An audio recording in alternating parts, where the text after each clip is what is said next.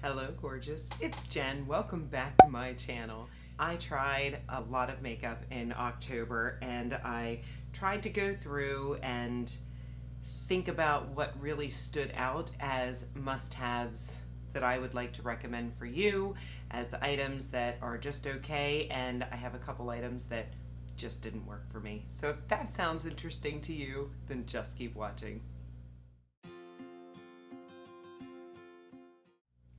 I'm going to go through the products in the order in which I use them.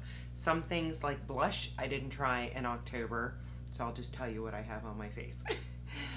For primers, I tried three new primers this month. I tried the Smashbox Smooth and Blur. This was recommended to me from a employee at Ulta. I also tried the Milani No Pore Zone. This one is the mattifying primer. And I also tried one from NYX, the Honey Do Me Up. I don't have that to show you because it's already gone. Spoiler alert, it just didn't work out for me. It looked great upon first application, but the oils just seemed to really go crazy that day. I tried it I would say at least five times before I decided it just wasn't going to work for me. So of these two, who is the leader? I would say Milani came out ahead. Do I love either one of them? No. I'm still standing by my Cover FX primer and if someone has a recommendation for a great mattifying, smoothing primer, I would love to hear it. Moving on to foundation. I tried two foundations in the month of October. I tried the Morphe 2 Hint Hint Skin Tint Foundation. Spoiler alert, I don't have that one anymore. So what do you think my ranking is gonna be on that one? Not so great. Again, it was almost too thin of a consistency. I had a hard time controlling it. It was going all over the place. Uh, the other one that I tried is the Kiko Milano. This is the Nothing Matte-R Mattifying Foundation. And I wasn't sure about this one at first because it does have a thicker consistency, which is not my favorite. But since I got this, I haven't stopped using it. It is thicker. So what I do is I just go in very light-handed, uh, I find that less is more with this foundation. It is a strong medium coverage and it does seem to keep my shininess at bay. So this is a winner. I would like to try more from Kiko Milano. For concealers, I tried two concealers in the month of October. I tried the NYX Can't Stop, Won't Stop. I also tried the Milani Conceal and Perfect. Neither of these are new concealers. I just never tried them. And I would say these go neck and neck. These are both very good concealers. I find myself leaning a little bit towards the Milani one. If you saw the video that I did testing Milani products, I actually did a I actually used this as foundation, which I thought was great. It really smoothed the skin, like the way my skin looked. So I truly, I just took this Milani concealer and spot corrected just in my areas of concern and under my eyes and then powdered and it was great. So if you are the person that doesn't want to wear foundation that has a couple areas that you would like to smooth over, I do recommend. For bronzers, I tried two bronzers in October. I tried the Milani Silky Matte bronzer and I also tried the new bronzer from LYS. They are both fantastic bronzers. I love them both, and I think different people will be drawn to the different formulas. So the Milani is super silky smooth, goes on the skin beautifully. However, I believe this is more one that you would that you would be wanting to build up. If you want, if you don't like a lot of makeup, you want to go very light-handed, you can go very light-handed with this and it just melts into the skin. It looks so smooth, wonderful. I love it. And the LYS one, same thing, silky, smooth. It's, it's a powder, but it feels creamy going on the skin. But this one, as you can see, has much more pigment. And if you are like me, I like just bam and then blend. So I am not as much of a build up type of person. I would rather hit it and then blend it in. But will I continue to use this one? Absolutely. It is beautiful. I love the tone. I just have to work a little bit more to get it on my face, whereas this one, I put it on, blend, and go. So that is nice. And this is a, a pretty affordable brand at Sephora.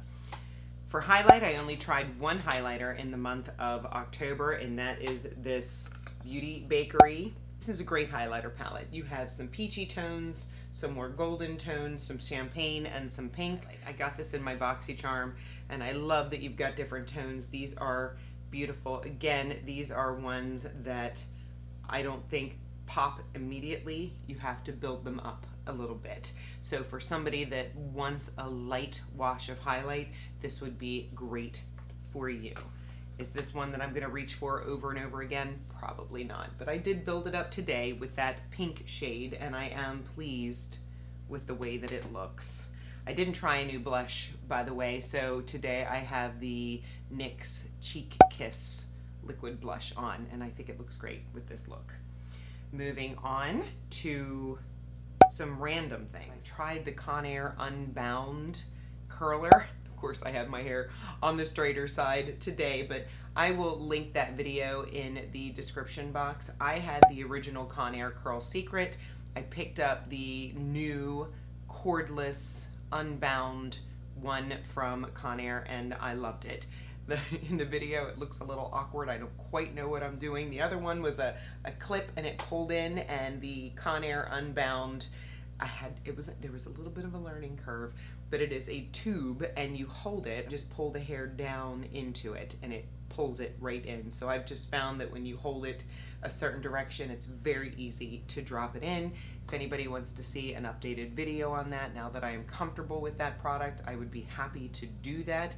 I do recommend it. My mother uh, lives with me and shares products with me as well, and she loves that curling iron. She finds that way easier to use than the original one that clips with the cord. So, thumbs up from Jenny and her mother on that one. The other sort of random product that I tried was this brush set from BH Cosmetics. This is their poolside chic, and this was a great deal. BH Cosmetics has great eyeshadows and I wanted to test out their brushes. I do like them. I find that I like the face brushes a little more than the eye brushes. I find that I like smaller brushes. So these are some of the eye brushes and the smallest one is the one you can see I, I did a little bit of that mauve color in there with this one today. They are the ones that I seem to be drawn more to. Me talk about my perfusion. My perfusion one is a little bit different. It's got a little bit more of tapered edge. It's a little bit softer where this one is a little bit firmer. But I will absolutely use them and I do recommend, maybe not at full price, but when BH has a sale, grab a brush set because they these are super, super soft and nice. I have a couple Morphe brushes that I love, but every time I use them to blend, it's, it's, it's a little uncomfortable. When you get used to those soft brushes, it's hard when that happens. Speaking of Morphe. Uh, I did also try their eyeshadows for the first time in many, many years. And I tried the Truth or Bare palette. This one was on sale at Ulta. And I thought, oh, just a nice neutral palette. There it is. I did, I've used this a few times and I was quite impressed with the quality of this palette. I did a mauve look. I've since done some warm looks, but these shadows, I mean, they are lovely, pigmented, easy to blend. The shimmers are not my very, very favorite that I've ever used, but you can wet them and they will show up. I mean, I've definitely used worse, but this one retails for 20. I got it on sale for 12, I believe. But if you are a neutral shadow kind of lover, I do recommend this palette. Other palettes that I tried from the drugstore, we'll do drugstore and then high-end. LA Girl Keep It Playful palette. If you watched that video, woo, it was a struggle because this one is probably my lowest ranked one. The mattes were mostly blendable, but the shimmers I had like a love hate relationship with. They are very crumbly, but almost wet feeling.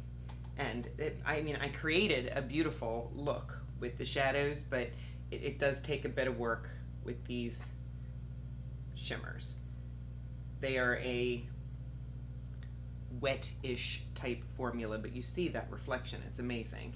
But I did struggle, especially with this matte right here. This brown right here, I really had a hard time blending. But for, again, I've seen these on sale. If you can pick this up on sale, they have a couple different color combinations. I have a larger LA Girl palette. palette. I do believe that this is one of the better brands that you can get at the drugstore. The next drugstore palette that I tried was from Milani. I got some great products from Milani. They had a sale where you could get, if you picked up their new mascara, which I'm going to talk about in a second, you got this at half price. So this is a $10 palette. I got it for five and thought that was great. I have used it a few times. I've done some looks with the purple, the blue, the green. I think I've used them all. Uh, the only thing that limits you with this pan is I believe, I mean, these two are the deepest mattes. So these, I'm more of a smoky eye kind of gal. So these are always gonna be my outside corner color. But then you have these pretty blues. This is like a teal color and the gold. And then there's a champagne over here. So, I mean, you see this. These are gorgeous jewel tones. The only thing that limits is those two mattes, but there are more neutral styles of this palette and I was just trying to expand my makeup collection. That's why I got the jewel tones, but I would imagine that that good formula goes across the board. I am a mess. Okay, next in line going up was this ColourPop Witching Hour palette. I got this more for collectors. I hope that this is still available. I have both of the Hocus Pocus palettes but this one was super fun to play with. I think this is a very versatile palette. There are some gorgeous colors in here. ColourPop shimmers are a little bit easier to work with.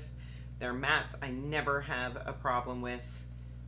ColourPop is great. I love their quads. This is more of a collector's item and I had a lot of fun. I made a couple of looks. Two more eyeshadow palettes to talk about. Can you tell what I what I love in my makeup collection? The next one is the Natasha Denona Mini Metropolis. I know I just reviewed this. I have used this maybe four or five times. I love this palette. Very, very pretty. It is completely in line with Natasha Denona quality.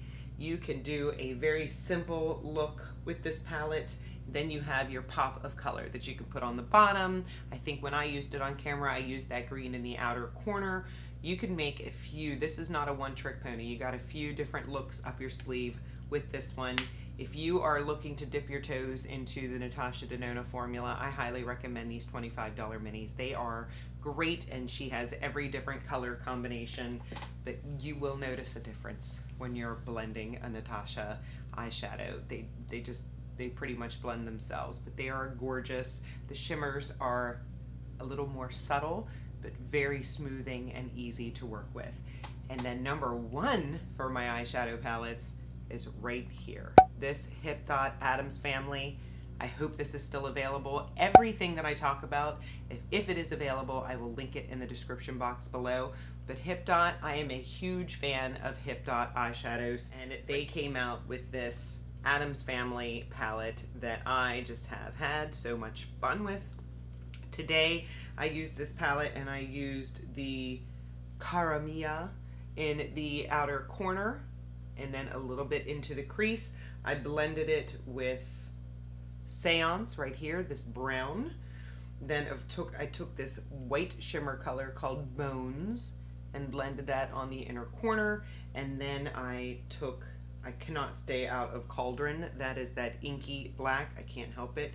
It is just the best black I have ever experienced in my life. I was afraid of it because it looks like it has shimmer, but when you blend, it just blends away. I know there's a black shade on top of it that looks to be more matte. This Ashes looks to be more matte black, but it is not. It's more of a charcoal. It's good for blending it. So I would put that on and then blend it with that. But this palette I did a very dark, smoky look in my video with it, but gorgeous. If it's still available, grab it.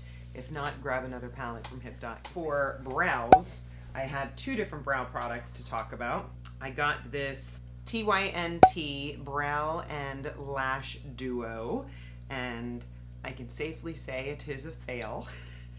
I've tried the mascara a few times. The mascara is on the one side and the mascara doesn't seem to do anything. I try to build and build and build and I get nothing. And then the brow product gives you everything. it is so wet in there. You go to put this in your brows and you get huge glops. I used it yesterday just to make sure I was I was confident in my thoughts and you just I just had glops in my eyebrows and then just worked worked worked worked worked to try to work it through the brows to get it through. It's just way too high maintenance. It's lovely packaging, nice weighty. It's a shame that the product didn't work out. The mascara needs more and the brow gel needs less. And then I have a little retraction. Last month I told you that I wasn't loving the NYX Lift and Snatch brow product and I am glad that I questioned myself, and I even questioned myself in the video saying that it might be a color issue. And I was right. I think I had picked up brunette or medium brown, but I went back and I switched it out for espresso. And I definitely am a fan. It really, I use this as almost like a finishing powder. I cannot do my entire brows with this. I imagine that you could, but I am not into that much work. I believe this would take, unless you have beautiful brows with just the occasional spot that needs filled in. If you only have a couple spots that you just want to throw in a couple hair flicks, then you're golden. This is all that you need. But I need my gel. I use my NYX gel to fill them in. The other brow product that I tried this month was this right here my soap brow technique. I know this came out years ago. I'm so glad that I tried it now. I don't know what I was waiting for, what took me so long, but I, I love my Benefit Brow Gel. I love my NYX Brow Glue, but why? Why when I can go to the Dollar Tree and pick up this soap from Pears. It's a Pears transparent soap, and I've seen it on Walmart's website. That's where I'll list it below, but if you can get it at Dollar Store, do it. I take this, a little setting spray, take my spoolie, put it in, laminate it down. I have a whole video about it.